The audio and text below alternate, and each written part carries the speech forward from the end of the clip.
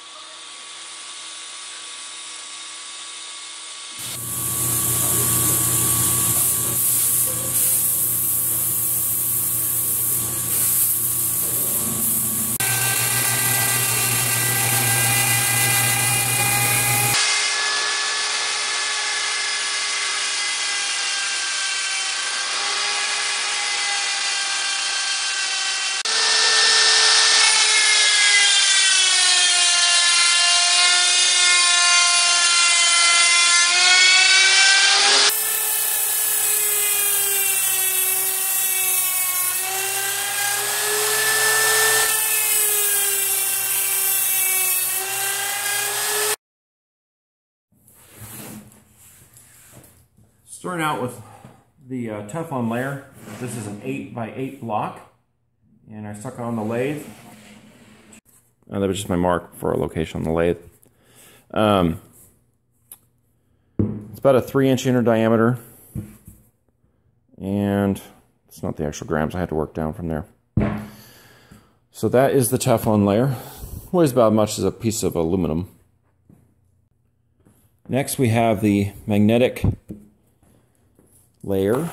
And this one is, I had finished off in China. It is unfinished, meaning it is not down to the correct size.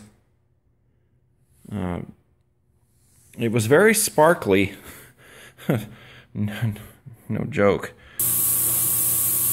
On the lathe. And having to grind it down to get the right uh, circumference or thickness diameter to match the weight on the Teflon. So after much grinding, uh, actually took several days because I had to work in between. Uh, these the inside, that's the outside. These are all down to the proper gram weight. Stupid chip. And uh, it's all pretty much set to go. The Teflon and the magnet layers are pretty darn close. They're only about one gram off, so I gotta finalize the Teflon. So here's how much the Teflon layer weighs. And let me stick on the magnetic layer. Uh, the special thing about this machine is it needs to be uh, harmonically balanced or harmonically weighed. So kind of like a tuning fork. When you have two tuning forks together, you ping one, the other resonates at it at the same frequency because they're harmonically balanced. Same principle with this machine is each layer, layer needs to weigh uh, the same. So 28, 26.7.8 grams what they need to weigh. Magnetic layer.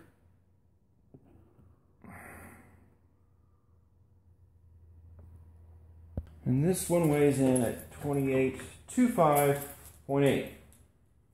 So this guy's going to have to take just a, a gnat's hair off to be able to get it down at one that one point one gram, whatever. Really darn close, but not close enough. I just wanted to briefly show the uh, the little jig I made for grinding the magnets, like I showed back in the video uh, of the lathe with me grinding them. Uh, this is my first attempt. It's wood, but it's accurate enough. Um, strap the magnets around the problem I ran into is when you're grinding, the magnets would tend to want to pull towards the chuck because I don't have the oven yet to cancel out the field.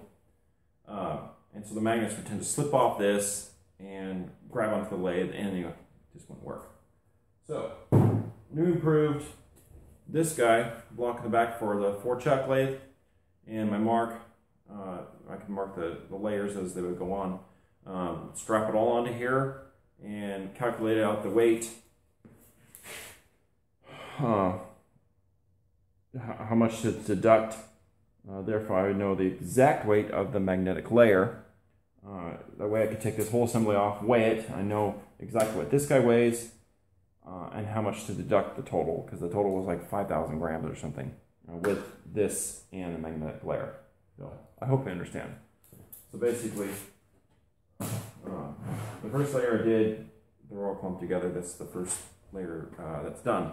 The second layer I haven't touched yet. Um, fit into here, like so.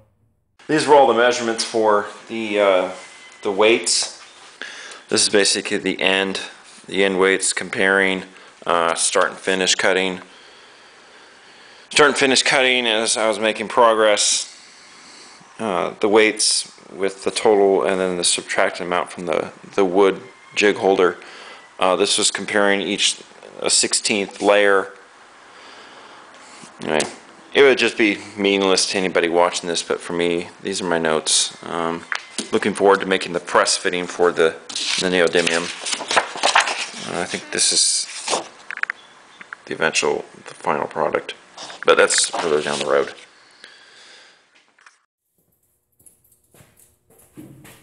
So again, uh, that's the update. Basically, the Teflon layer is done, magnetic layer is done, and uh, I'll just keep posting updates as things progress. Uh, the next move is to get the the uh, heating oven to where I could basically make my own magnets, and at least for now, de-energize the the magnets I have. So take care, everybody. Uh, click right here to subscribe to my channel and I'll update you guys as work progresses on this, this Throw generator replica. Take care, bye-bye.